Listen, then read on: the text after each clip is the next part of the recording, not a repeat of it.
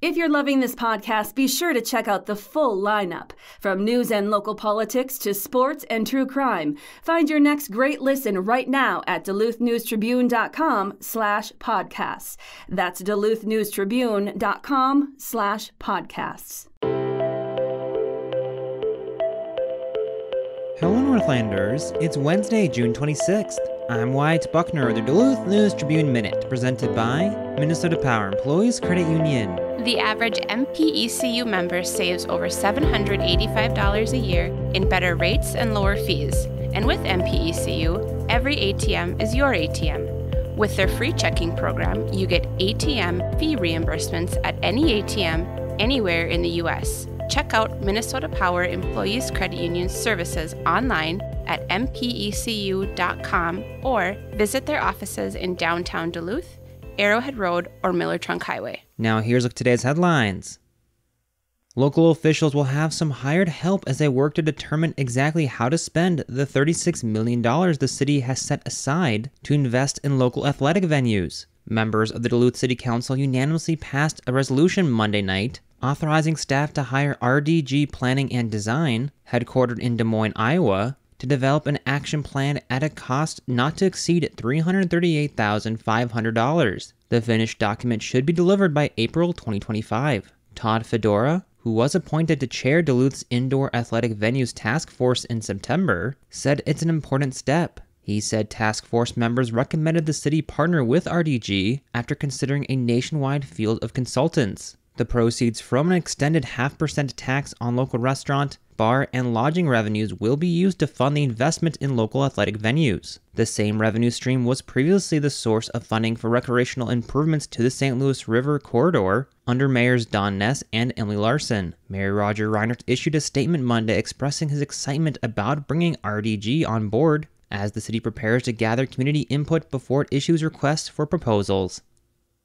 When Duluthian Helen Smith Stone started quilting, she didn't have a teacher. She had books, magazines, and a quilting program on what's now PBS North to help guide her through her first quilt. She made it while pregnant with her son, Lane, in 1979 out of recycled blue jeans and calico print cotton fabric squares. Now, 45 years after that first quilt, Smith Stone has spent much of her quilting career making sure she's a source for new quilters, and she continues to make quilts for her loved ones. Her dedication and growth in the quilting world is why Minnesota Quilters Incorporated recently named her the Minnesota Quilter of the Year. The award was established at the Minnesota Quilt Show in 1997. To qualify, the quilter needs to have been a Minnesota resident within the past five years, have a collection of personal and professional quilt work, significantly impact the quilt community, and have dedicated time and talent to preserve and promote quilting. Smith Stone has run a local quilting guild since 2001, taught numerous quilting classes, created several handmade quilts to charitable organizations, and has an extensive quilt collection she showed last week during the Minnesota Quilt Show at the Duluth Entertainment Convention Center.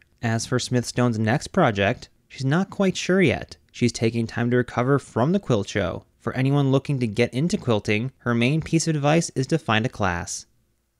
A Facebook page pretending to be Minnesota Housing directed people to apply for non existent housing and vouchers, potentially putting them at risk for identity theft, said the agency. In a Tuesday press release, Minnesota Housing announced it had been impersonated in a Facebook scam about waitlists for people seeking housing or Section 8 housing choice vouchers. The page has now been taken down. Perpetrators of the scam posed as the agency using alternate identities, including Minnesota Housing Authority, and Minnesota Housing Development Authority said Minnesota Housing. Those who followed the links on the pages were asked for personally identifiable information or directed to Minnesota Housing's St. Paul office to apply for non existent vouchers and housing. Minnesota Housing does not manage housing wait lists and does not issue housing vouchers, the agency warned. Similar disinformation campaigns have targeted housing agencies, authorities, and organizations in multiple states in recent weeks, said Minnesota Housing. Now, here's a your forecast brought from the News Tribune's Northlandia podcast. Good morning. Here's the forecast for the Duluth area today. Any lingering sprinkles quickly clear out this morning, leaving a partly sunny daytime for the region. Temperatures will be notably cooler than yesterday as well, with our afternoon highs stuck in the mid 60s for Wednesday. Overnight, we stay dry and quiet with partly cloudy skies and lows cooling back into the low 50s. Clouds will gradually be on the increase then later Thursday, with some rain approaching then late Thursday night. I'm Storm Tracker meteorologist Robert Daly.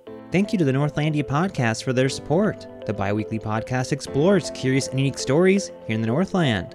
The latest episode looks at scuba diving in Lake Ore-Be-Gone. You can find that episode and others at DuluthNewsTribune.com or wherever you also get this podcast.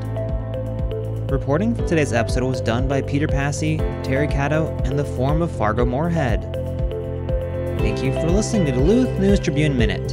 Have a great day, and we'll see you back here tomorrow.